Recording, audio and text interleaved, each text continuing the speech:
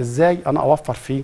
ولو خدناه بال- بال brands كده حاجة حاجة. يلا زي. الميكروويف. آه يلا نتفق. مع بعض. آه الميكروويف إزاي نوفر؟ الميكروويف. أنا عندي الميكروويف بيبدأ من 900 واط ل 1500 واط. من 900 آه ل ل 1500 واط. 1500 نمسك الميكروويف. أنا عندي الميكروويف. فيه كيف يعني نوفر استهلاك الكهرباء لما نيجي نستهلك أو نيجي نستخدم الميكروويف بتاعنا؟ أنا عايز يعني اتفضل. أختلف مع الباشمهندس في جزئية صغيرة. آه. إن الميكروويف أقل استهلاك من الفرن. لأن الميكروويف أنا بشغله عدد آه. عدد دقائق أقل. لكن أنا بشغل أقصى إيه؟ الفرن ثلاث دقائق تلات لكن. الفرن ممكن أقعد ساعة ونص. مظبوط يا فندم. أه. هل هل ده ده هنفترض إن ده 1000 واط وده 1000 واط. شغلت ده ثلاث دقائق وشغلت ده ساعة. اذا في في في فرق كبير في الاستهلاك. لا الميكرويف أوفر بكتير من الفرن. الميكرويف حضرتك أنا أستخدمه برضو استخدام عادل. بمعنى أنا ما أجيش النهارده أعمل عليه أكل كامل. أنا س- اسخن فيه بس. ما هو الميكرويف للتسخين بس لا حضرتك لا، في ناس في بتستخدمه للطهي ودي في منتهى برضو الخطورة أصلا صحيا غلط صحيا؟ غلط صحياً غلط. لكن في بيستخدموه بتبقى مثلا موظفة وراجعة متأخرة وعايزة تش- تعمل أكل بسرعة أو حد مستعجل عايز يعمل أكل في بسرعة ناس تطلع الفراخ وهي مجمدة تحطها في الميكرويف في عشان وياخد ربع. ساعة تلت ساعة ويقول أنا بسويها هو ده هنا غلط مش كده؟ هو آه. هنا حضرتك هو ده, ده غلط صحيا وغلط أنا مش عايز ادخل في حتة برضه الصحه لأن دي ليها مجالها. بالظبط بس هو غلط متخصص صحيا وإحنا. عارفين. لكن أنا بقول بس كهربائيا هو استهلك كهرباء كمان انت كهرباء انت كتير استنفذت طاقة كبيرة جدا. طب ما أنا من باب أولى أعمله في الفرن البوتاجاز عادي وأشيل أكلي ولما احتاج أسخن أطلع الجزء اللي أنا هستخدمه أسخنه. ده الطبيعي. أما الفرن الكهرباء برضو ده ده يعني استهلاكه كتير جدا لأن الفرن الكهرباء بيتراوح من 1800 واط ل 2200 واط. فأنا عشان أستخدمه استخدام عادل أنا برضو يعني آه، آه، يعني هدفع كهرباء. ما أنا مفيش حاجة حضرتك مجانية. أنا طالما هستخدم شيء هدفع المقابل بتاعه. بالظبط. كل حاجة ليها كل. حاجة وليها تقديرها. آه. فأنا ما أجيش أشغل مثلا فرن ساعة ونص أو ساعتين عشان أعمل تسويه صينية مثلا وأقول ده الكهرباء بتجيلي كتير. زي ما الآثار برضو الباشمهندس حامد الكتل الغلاية. حضرتك برضو الغلايات بتتراوح من 1200 واط ل 2200 واط. أو 2500 واط. طيب أنا ممكن أشغل هعمل ثلاث كوبايات مية. عملتهم في الغلاية ال 1200 واط. في واحد متخيل إن 1200 واط وفرت كهرباء.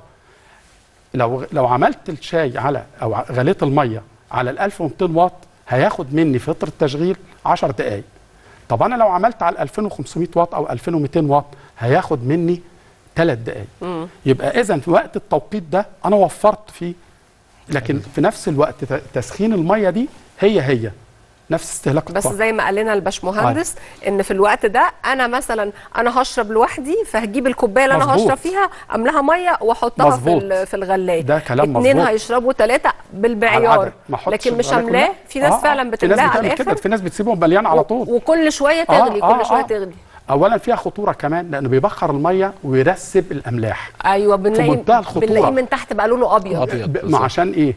إن أنا بفضل سايب الكتل شغال على طول المية بتتبخر فده بيعمل ترسيب للأملاح ليه. ودي برضو نقطة مهمة جدا. لما نشوف الغلاية فيها أبيض من تحت دي خلاص لازم نغيرها. نظافتها بمنتهى البساطة. آه. هاخد نص كوباية خل ونصها مية واغليهم. بمنتهى البساطة هيرجع تاني كأنه جديد. تمام تمام. باشمهندس حامد. آه، التشطيبات بتاعت الكهرباء اللي في البيت. تمام. جودة التشطيبات دي بتأثر على استهلاكنا للكهرباء؟ آه طبعا. بمعنى يعني الدهانات نفسها لو هي ألوان فاتحة بتقلل في استهلاك الكهرباء. ليه؟ لأن لا لا لا لا استنى دقيقة واحدة. الدهانات. يعني دلوقتي أنا لما أدهن الحيطة في بيتي لون بيج. بالظبط. لون أبيض. تمام. ده يوفر استهلاك الكهرباء. آه طبعا. لكن مثلا حد عمل مثلا زيتي أخضر داكن أحمر بني في رمادي في في ناس بتعمل حيطان سودا ما أعرفش إزاي بس في- ناس بتعمل يزود في استهلاك الكهرباء. آه، إزاي؟ هي في ألوان. عاكسة للحرارة والضوء وألوان بتمتص ال- الحرارة بتاعت الشمس وتحتفظ بيها. طيب أنا لما الحيطان تكون امتصت حرارة الشمس واجي اشغل التكييف. الطبيعي إن درجة حرارة الغرفة هتبقى أعلى كتير صح ولا غلطان؟ إنما الألوان الفاتحة إيه اللي بيحصل فيها؟ بتعكس الحرارة بتعكس الضوء والحرارة فما بتمتصهمش. فبالتالي التكييف بيشتغل وهو مستريح شوية درجة الحرارة بتاعته بتكون آه. إيه؟ اللي عايز يوصل لها أيوة. بيوصل لها أسرع طبعا. فالتشطيبات طبعا عليها عامل يعني لا لألوان الرمادي مثلا. ولا لألوان هو مش لا. الألوان الرمادي ولكن بنحد من استخدامها يعني هي ديكوريا حتى اللي يتكلم في دي طبعا اساتذتنا بتوع الهندسة المعمارية طبعا آه، ممكن يستخدموها تطعيمات يعني زي ما بنقول كده بلغة السوق تطعيمات بدي جنب إنما مش ما تبقاش كل الشقة آه. ألوان ده كده. آه، حضرتك لو جيتي تفتحي مثلا شقة وأنت سايباها أسبوع ولا حاجة تحس بالسخونه كده. تحس بصهد طالع آه من الشقة. بالظبط آه. على عكس الألوان البيضاء. آه الألوان الفاتحة. آه ثانيا بتوفر في الإضاءة. يعني هو أنا لما أدخل مكان معتم تماما حيطانه معتمة. ولما أجي أدخل مكان ألوانه بيج أو فاتحة شوية ما بتحتاجيش نفس درجة الإضاءة. مم. بتو... أيوه صح. العملية آه. بتكون طب أسهل التشطيبات كتير. بقى بتاعة الكهرباء؟ تشطيبات الكهرباء دي إحنا مش هنقول تشطيبات الكهرباء هي طبعا بيبقى في أخطاء فنية موجودة. مم. اللي هو مثلا لو حضرتك آه، ممكن تلاقي البريزة سخنة شوية اللي هي أيوه. الكوبس بتاع الكهرباء. ده طبعا بيكون في خطأ في التشطيب ده طبعا هدر في طاقة كهربائية. واللي بيتحمله العميل. واللي بيتحمله العميل. فطبعا جودة الفني أو المهندس اللي بيكون بيصمم وبينفذ والتنفيذ ده نحط تحتها مليون خط هيكون عليه عامل كبير في استهلاك الكهرباء فيما بعد. آه، في عندنا برضه مشاكل في التشطيب آه، في تركيب العدادات الكهربائيه ودي طبعا الوزاره بدأت تتجنبها بإن هي لازم الفني مسؤول من شركة الكهرباء هو اللي بيروح يركبها. ليه؟ لأن في ناس بتعكس أطراف العداد آه، آه، موضوع التلاعب والكلام من ده كله طبعا. فدي دي بعض أخطاء التشطيبات دي بعض أخطاء التشطيبات اللي ممكن تأثر في ال- بالنسبة للكهرباء. إنما الشيء الأساسي في الاستهلاك هو ثقافة الاستخدام. يعني إحنا ممكن نبدأ نقسم شوية حاجات كده مع بعض اتفضل. وزي ما بنقول إيه ندي روشتة علاج يلا عاوزين لفاتورة- الروشتة، آه. لفاتورة الكهرباء. إحنا ممكن نقسمها. إزاي نخلي فاتورة الكهرباء بتاعتنا أقل؟ روشتة علاج على عهدة المهندس حامد عبد العال. اتفضل. هنبدأها مثلا من ابتداء من العداد اللي هو أول نقطة للكهرباء في الشقة. تمام؟ آه، يفضل الشحن العداد يكون في بداية الشهر. ليه؟ علشان أكون من بداية الشهر في الشريحة الأولى اللي هي الشريحة الأدنى الدنيا في المحاسبة في القيمة بتاعتها. تمام؟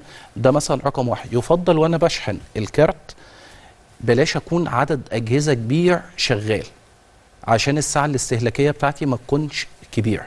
فدي مثلا نقطتين فاصلتين شوية أثناء أثناء الشحن. ده بالنسبة مثلا لعداد الكهرباء. النقطة الثانية مثلا استخدام الأجهزة الكهربائية وخلينا ناخدها واحدة واحدة. يعني مثلا التكييف بتاع الكهرباء آه، زي ما أستاذ جورج قال آه، بطاقة كفاءة المنتج دي أهم حاجة في أي جهاز. ويمكن دي اللي, اللي أنا كنت عايز أتكلم فيها اللي هو في آه، لبس شوية في موضوع الفرز الثاني يعني أنا بالنسبة لي كمهندس كهرباء الفرز الثاني هيختلف عندي عن أستاذ جورج. أستاذ جورج هيتكلم عن الفرز الثاني من منطلق عيب في المنتج في الشكل défaut موجود معين. بالنسبة لي أنا الفرز الثاني مرتبط ببطاقة كفاءة المنتج. أنا عندي A plus عندي آه، عندي A double plus عندي A plus عندي A عندي B لحد E لحد إيه طبعا كل حاجة من دي بيكون ليها ثمن مختلف عن التاني. فأنا بالنسبة لي مثلا ال E ده آه، فرز تاني. ده ده بالنسبة لي كمهندس كهرباء لأن آه، استهلاكه للكهرباء هيكون كتير. كبير جدا. آه. فابتداء من التكييف مثلا آه، بسم الله الرحمن الرحيم لازم أجيب حاجة إيه أو بي مثلا. يعني ما احاولش أنزل عن كده. آه. فبالتالي ده آه، بالنسبة لي الاستهلاك هيقل. طيب نيجي النقطة الثانية اللي هو زي ما حضرتك قلتي درجة الحرارة اللي أنا بظبطها في التكييف. هو حاليا ما عادش فيه 17 أو 18 إلا في الأجهزة القديمة. تقريبا كل الأجهزة حاليا بدأت بدأت من 22 بدأ والله, والله. فعلا آه. آه. ليه؟ لأن هي الثقافة ده بقت بقالنا كام سنة ده من كده وزارة ده ده بقرار من وزارة الصناعة. إحنا بالظبط. دي ثالث سنة. طيب آه لا أنا. آه جبت من قبل كده ما ده قديم 17. ده قديم. يعني القديم, كان بينزل ل 17 بالظبط.